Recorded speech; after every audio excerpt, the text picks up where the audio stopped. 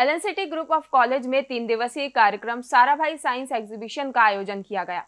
प्रदर्शनी में विज्ञान आधारित प्रदर्शनियाँ लगाई गई। इस अवसर पर लघु उद्योग, विज्ञान एवं प्रौद्योगिक मंत्री ओम सकलेचा ने कहा कि इस कार्यक्रम के माध्यम से एलएनसीटी ग्रुप एक महत्वपूर्ण भूमिका निभा रहा है, जिसके कारण कई विद्यार्थियों को इसरो के प्रति सजग भावना जागृत होगी। एलएनसीटी ग्रुप ऑफ़ कॉलेज में विक्रम साराभाई साइंस एग्जीबिशन का आयोजन किया गया। इस अवसर पर लघु उद्योग विज्ञान एवं प्रौद्योगिकी मंत्री ओम प्रकाश सकलेशा ने प्रदर्शनी का अवलोकन किया और वैज्ञानिकों से सौजन्य भेंट की।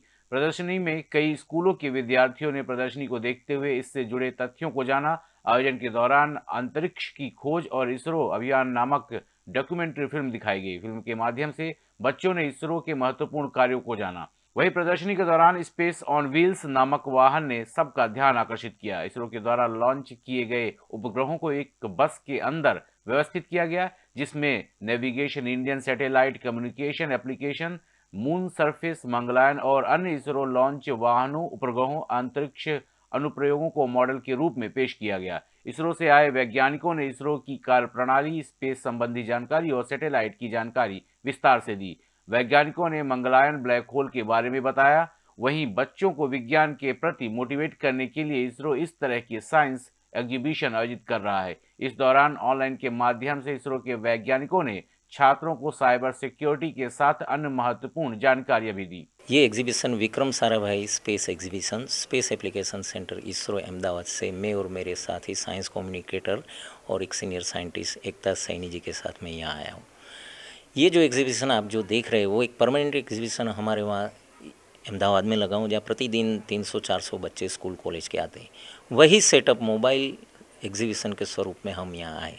अलग अलग क्षेत्रों में हम जाते हैं, स्कूल, कॉलेज में एग्जीबिशन करते हैं और मेन उद्देश्य ये है कि बच्चों में विज्ञान के प्रति जागरूकता कैसे आए। कार्यक्रम को लेकर मंत्री ओम प्रकाश सकलेचा ने कहा कि इस कार्यक्रम के माध्यम से एलएनसीटी ग्रुप एक महत्वपूर्ण भूमिका निभा रहा है जिसके कारण कई विद्यार्थियों को प्रेरणा मिलेगी साथ ही साथ विद्यार्थियों के मन में इसरो के प्रति सजग भावना जागृत होगी। वहीं एलएनसीटी ग्रुप के चेयरमैन जय नारायण चौकसे ने प्रदर्शनी के लाभ के बारे में भी बताया। बच्चों की क्रिएटिविटी को प्लेस करने का बहुत अच्छा वातावरण एल सिटी ने दिया।